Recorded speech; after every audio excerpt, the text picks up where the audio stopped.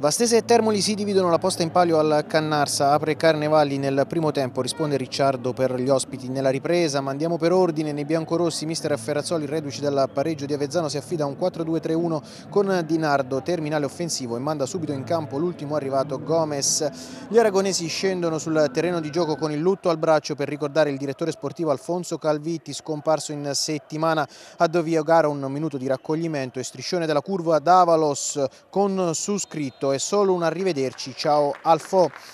I giallorossi di Esposito a caccia della prima vittoria stagionale si schierano con un 4-3-3, pronti partenza via e subito pericolosi padroni di casa dopo appena 37 secondi, attento del giudice che respinge la conclusione. I giallorossi continuano a spingere al decimo, trovano il gol del vantaggio in contropiede. Carnevale si libera di un avversario e fredda del giudice sul primo palo con un tiro millimetrico dal limite 1-0 al 25 primo cambio per i locali con Ferrante costretto a lasciare il campo per infortunio dopo uno scontro con Busetto che viene anche ammonito al suo posto. Entra Conte al trentesimo Lavastese perviene al pari con un colpo di testa di Dinardo ma l'arbitro Bonci annulla per presunto fuorigioco dell'attaccante maglia numero 9. Al 35 Dinardo ci riprova sempre di testa, la sua torsione viene respinta di piedi da un intervento distinto di Merelli. Al 45 si rivede il Termoli dalle parti del giudice l'estremo bianco-rosso fa buona guardia sul tiro da fuori di Defendi, si va a riposo con il vantaggio di misura dei locali.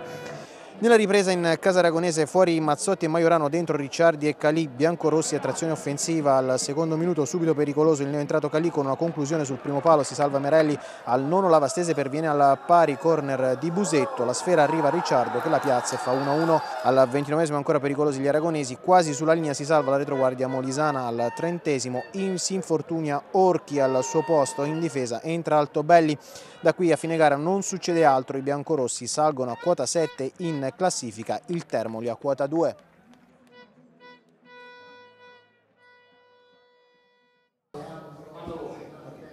Mister Ferrazzoli, un pareggio, buona reazione della sua squadra, ancora un primo tempo così così, poi una buona reazione, si è, si è visto una bella vastesa. Sì, eh, di,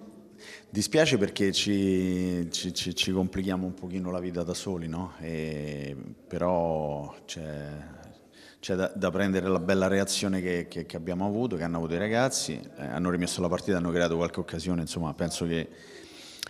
avremmo meritato qualcosina in più, però in tutti noi non c'è grande soddisfazione perché sappiamo che queste partenze ad handicap ci costringono a fare sempre rincorse. Eh, eh, spericolate a fare sostituzioni che, che, che, magari possono avvenire anche in corso di, di, di, del secondo tempo, invece quando è così dobbiamo sempre mettere a rischio la, la, la, gli equilibri perché nel secondo tempo è vero abbiamo giocato uno, un, un, grande secondo tempo, abbiamo creato tanto, però qualche ripartenza l'abbiamo subita, quindi eh, non, non, riusciamo a, a, a, partire subito forte, ecco questo è un problema che dobbiamo analizzare e che dobbiamo cercare di risolvere No, il prima possibile, perché già sono sette partite e dobbiamo risolverlo subito. Secondo lei è una questione di approccio, una questione mentale? Eh, ormai abbiamo visto tante partite della Vastese, sembra veramente una squadra dai due volti. Ma eh, io non lo so perché durante la settimana eh, facciamo tutto quello che, che, dobbiamo fare. La domenica eh, in alcune cose manchiamo e tra cui queste del, del, delle, della partenza subito, stare subito attenti e concentrati. Penso che siamo andati, tranne a Tolentino, siamo andati sempre sotto nelle sei partite restanti. Quindi ripeto, è un problema che dobbiamo risolvere immediatamente e vedremo, parlerò con i ragazzi, farò parlare loro, non, non so quale, quale, possano essere le, le cause, per, perché ribadisco, durante la settimana, non, anche prima di entrare in campo, le, i presupposti e i propositi sono buoni e poi puntualmente succede questo, però ripeto, non, io so benissimo che non vincere eh, dà fastidio, però non c'è neanche da, da da, da, flagellare i ragazzi, perché come è vero che commettono delle ingenuità, è anche vero che dopo buttano il cuore oltre l'ostacolo e fanno partite, grandi prestazioni, la squadra è strutturata per fare un campionato importante. Ripeto, dobbiamo impegnarci e soprattutto mh, mm, eh, capire il perché di queste, queste partenze ad handicap. Va bene, a posto, mister, sono ok. Mister Esposito, un bel Termoli nel primo tempo, grande intensità della sua squadra, poi siete calati un pochettino, merito anche della Vastese. Ma sì, abbiamo fatto un grandissimo primo tempo, soprattutto i, prima, i primi 30 minuti dove riusciamo ad uscire bene palla a piede, abbiamo creato tante situazioni pericolose e siamo andati anche in vantaggio. Poi il secondo tempo non è che c'è stato un calo fisico, ma c'è stato solo che è venuta fuori tutta la forza eh, de della Vastese, quando poi il mister ha messo dentro l'artiglieria pesante eh, ci hanno chiuso un po' a ridosso della nostra area di rigore, ma hanno creato eh, qualche occasione per, per, andare, per agguantare il pareggio, ma alla fine l'hanno trovato su un piazzato, su un corner. tutto sommato io veramente sono, sono molto contento della prestazione dei ragazzi hanno dato tutto, più di così non si poteva fare, mi dispiace solo che nonostante abbiamo fatto un secondo tempo un po' più difensivo, però si poteva sfruttare meglio qualche ripartenza e, e dove poter, poter, far male poi e dare il colpo definitivo alla Vastese. Purtroppo non ci siamo riusciti.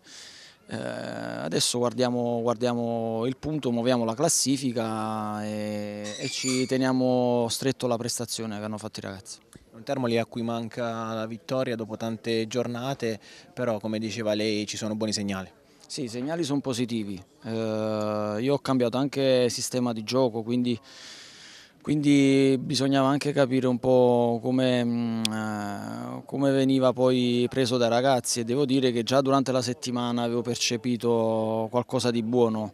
Eh, infatti la prestazione, ripeto, è una grandissima prestazione perché i ragazzi hanno dato il cuore, volevano regalare questa gioia ai nostri tifosi perché